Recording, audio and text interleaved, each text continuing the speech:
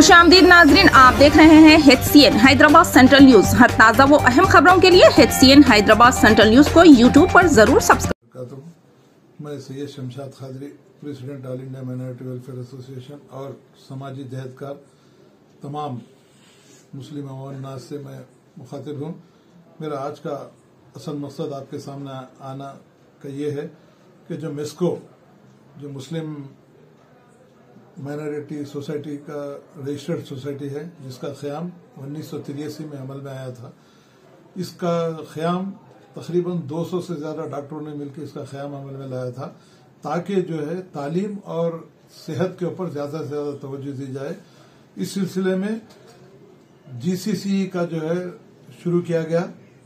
GCC से करोड़ों रुपए की आमदनी हुई और इसमें जो है इसके बाद बहुत से जमीनात खरीदे गए, बहुत से इंस्टीट्यूट का ख्याम में लाया। और ये बड़े ही अच्छे अंदाज में चल रहा था। मैं समझता हूँ कि 40 पैंतालीस, पैंतीस साल तक जो मेस्को का कारोबार और मेस्को के जो भी एक्टिविटीज़ थे, बड़े ही अच्छे अंदाज में चले। मुस्लिम माइनॉरिटीज के लिए ज़्यादा से ज़्यादा इसमें फ़ायदा पहुँचाया गया, चाहे तालीम का मामला हो, चाहे सेहत का मामला हो। मगर ये पिछले चार पाँच साल से उसी तौर पर इनका असल मकसद ये है कि अब इनकी म्याद भी खत्म हो गई है। पाँच साल की इनकी म्याद थी म्याद खत्म हो चुकी है। दिसंबर में। इनकी मियाद खत्म हो रही है। तो अब ये म्याद खत्म होने से ये जो करप्ट किस्म के लोग जो इस मेस्को में अब घुस चुके हैं जिस तरीके से मेस्को को नुकसान पहुँचाने की कोशिश कर रहे हैं इनका असल मकसद यह है कि अब तक जो लूट खसूट हुई वो तो चल रही रही है। मगर अब इनका असल मकसद यह है कि अगर ये पाँच साल के बाद भी अगर इस्तेदार इन्हीं के हाथ में रहेगा एडमिनिस्ट्रेशन इनकी इन्हीं के हाथ में रहेगा तो और ज़्यादा जो है मेस्को को नुकसान होगा और ज़्यादा से ज़्यादा पैसों का मिस अप्रोप्रिएशन होते हुए अपना फ़ायदे के लिए लोग काम करेंगे। तो मैं सबसे पहले ये बात कहना चाहूँगा कि मेस्को के नाम पर बड़े बड़े इंस्टीट्यूट कायम किए गए, मगर वहाँ कोई फैकल्टी नहीं।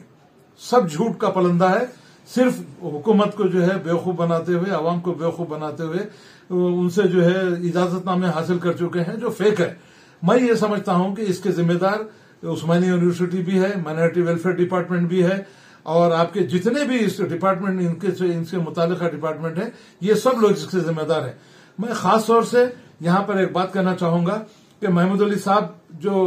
अब इस वक्त जो है, एक ऐसा चेहरा है महमूद अली साहब का माइनॉरिटी हमारे चंद्रशेखर राव साहब की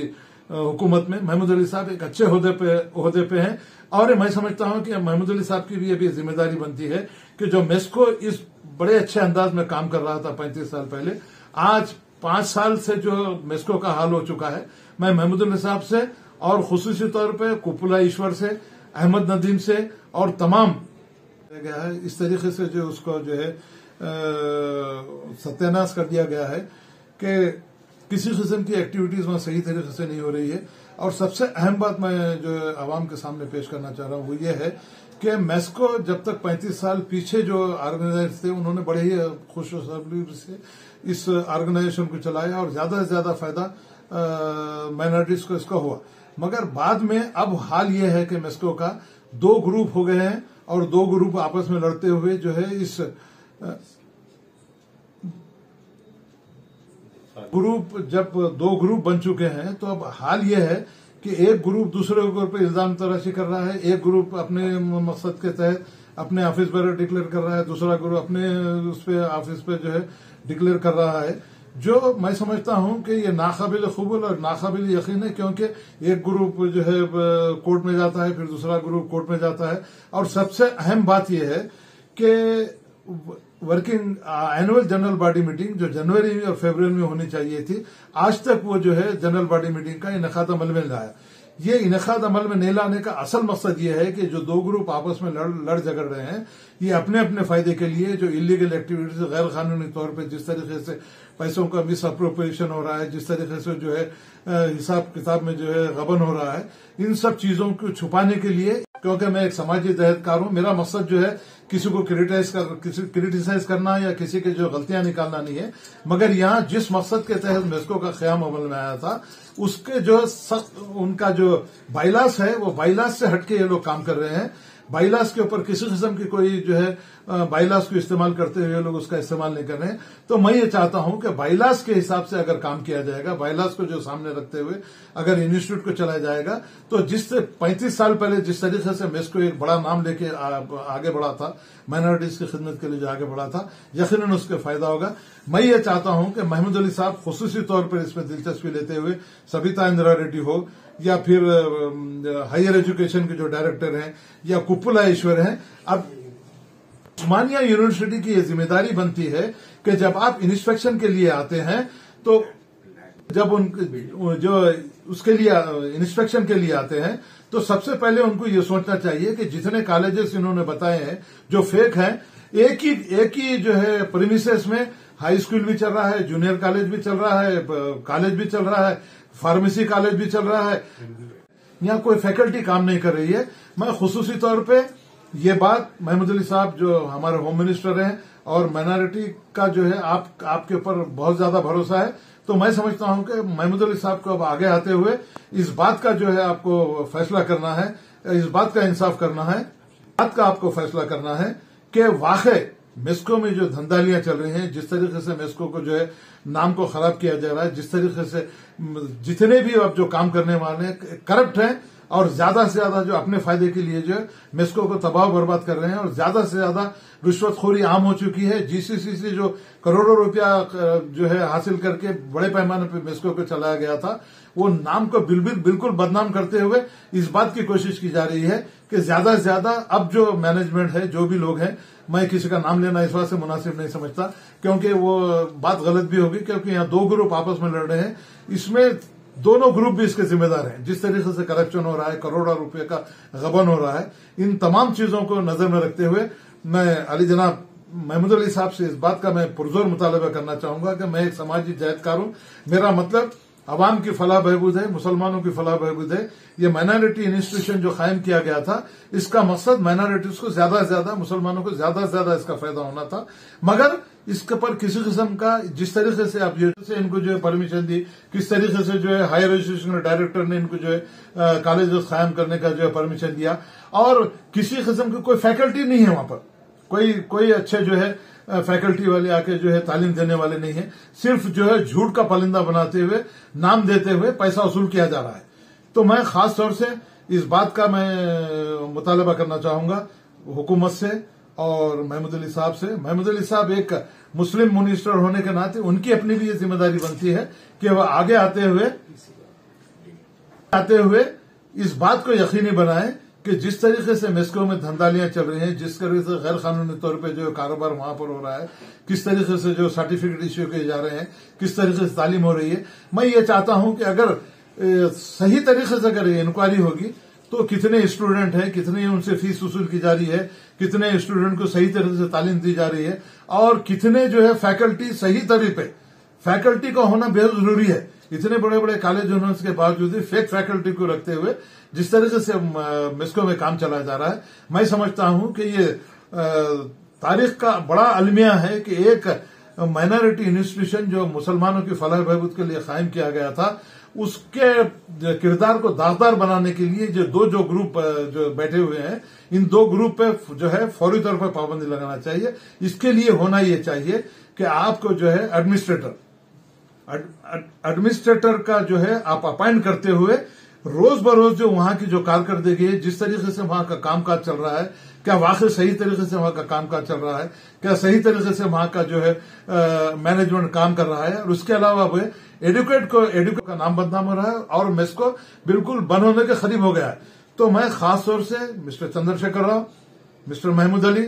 और जितने भी मुतल अहदेदार हैं, चाहे उस्मानिया यूनिवर्सिटी हो या चाहे हायर एजुकेशन के डायरेक्टर हो या प्रिंसिपल सेक्रेटरी हो, इन सबसे मेरा मुतालबा है कि एंटी करप्शन ब्यूरो से इसकी इंक्वायरी करवाई जाए।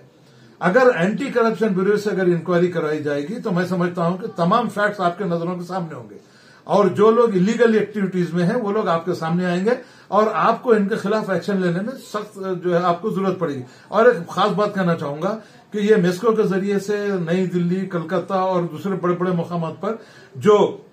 इंस्टीट्यूट जो मेडिकल लैब्स वगैरह जो मिनिस्टर कायम किए गए थे, अब वो बंद हो चुके हैं। मगर उसके बावजूद भी इस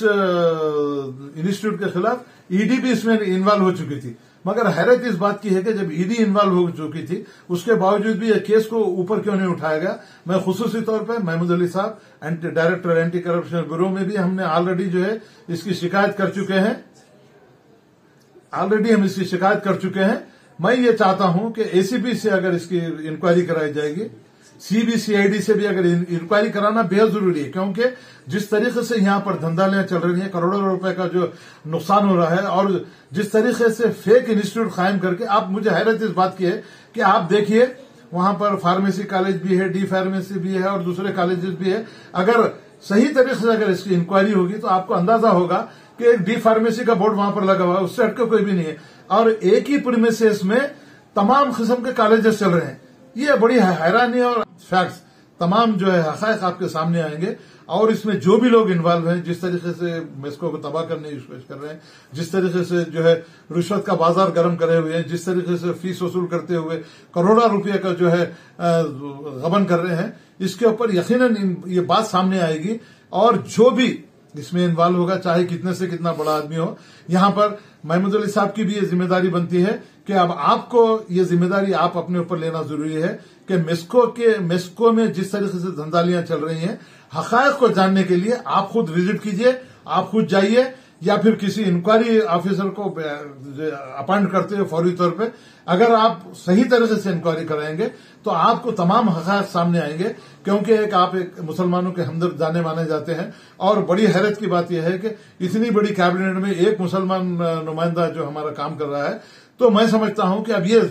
मिस्टर महमूद अली की यह ज़िम्मेदारी बनती है कि वो आगे बढ़ते हुए फौरी तौर पर इंक्वायरी कराते हुए आप एडमिनिस्ट्रेटर का अपॉइंट कीजिए और एक लायर को अपॉइंट करते हुए जितने भी जो वहाँ पर मेंबर्स है, उन तमाम की जो है लिस्ट अलग अलग अलग करते हुए, उसको जो है, आप अगर सही तरीके से अगर उसकी इंक्वायरी अगर होगी तो आने वाले दिनों में फौरी तौर पर अगर आपको मेस्को का चलाना है, मुसलमानों के फलाह के लिए जो इजारा कायम किया गया है तो फौरी तौर पर इलेक्शन करते हुए एक अच्छे जो है नई बॉडी को अगर अपॉइंट करेंगे तो मैं समझता हूँ कि हमारा भी मकसद पूरा होगा और मुसलमानों का जो मकसद है जिस जिस जिस मकसद के लिए काम किया गया है, उसमें लिए काम जो है ज़रूरी हो, ये वक्त की सबसे अहम ज़रूरत यह है कि इंक्वायरी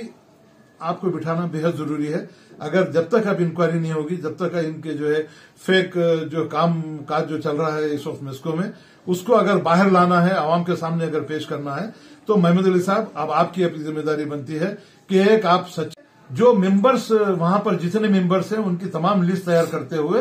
सही तरीके से, अगर वहाँ पर कारोबार अगर सही तरीके से मेस्को का चलाना है वाक़ माइनॉरिटीज के, जिस मकसद के तहत जिस इंस्टीट्यूट को कायम किया गया है, चलाना है तो मैं समझता हूँ कि वहाँ पर एडुकेट जन, एडुकेट और आपके जो एडमिनिस्ट्रेटर रहते हुए, इस बात की वो लोग कोशिश करेंगे कि फौरी तौर पर जितने मेंबर्स हैं, उनकी मेंबर्स की लिस्ट तैयार करते हुए अगर सही तरीके से वहाँ पर नए इलेक्शन अगर कराए जाएँगे तो मैं समझता हूँ कि मेस्को की साख भी बचेगी और मेस्को जिस मकसद के लिए कायम किया गया था वो मेस्को का कायम क्याम करने का मकसद भी है। इसके लिए सबसे पहले अमीरुल्लाह साहब ने आ, मैं समझता हूँ कि जूनियर कॉलेज और गर्ल्स के लिए कायम कायम करने के लिए दो एकड़ से ज़्यादा ज़मीन अलर्ट की थी तो मेस्को मेस्को जब शुरू मेस्को का जो ऑर्गेनाइजेशन जो शुरू किया गया था हेल्थ और एजुकेशन के लिए। तो अमीरुल्ला खान साहब ने कम से कम दो एकड़ ज़मीन जो है इस मकसद के लिए अलर्ट की थी। उसके बाद से जो है मेस्को बड़े अच्छे अंदाज में काम कर रहा था, मगर बाद में जो करप्ट किस्म के लोग जो मेस्को में आके जो है नया, नए तरीके से कारोबार करते हुए लोगों को लूट रहे हैं स्टूडेंट को लूट रहे हैं आवामों को धोखा दे रहे हैं। तो इन तमाम चीज़ों को कंट्रोल करने के लिए मैं महमूद अली साहब से chief minister Telangana mister Chandrashekar Rao और आपके उस्मानी यूनिवर्सिटी के जितने भी मुतल अहदेदार हैं, अब ये उनकी अपनी ज़िम्मेदारी बनती है कि फौरी तौर पर एक इंक्वायरी कमीशन बिठाते हुए इस बात का आप सबूत देंगे कि सही तरीके से जो है मेस्को को अगर चलाना है तो एक इंक्वायरी कमीशन कायम करते हुए सही तरीके से अगर इंक्वायरी होगी तो मैं समझता हूँ कि तमाम फैक्ट्स तमाम जो है, जिस तरीके से ये दो ग्रुप आपस में लड़ते हुए मिस्को की साख बर्बाद करते हैं, मिस्को को जो है चलाने में जिस तरीके से कोताही बरत रहे हैं, यकीनन अगर सही तरीके से इंक्वायरी होगी एसीबी से सीबीसीआई ऐसे ही अहम खबरों से बाखबर रहने H C N Hyderabad central news को यूट्यूब पर सब्सक्राइब करें और बेल आइकन दबाना ना भूलें ताकि हर खबर आप तक पहुँचे।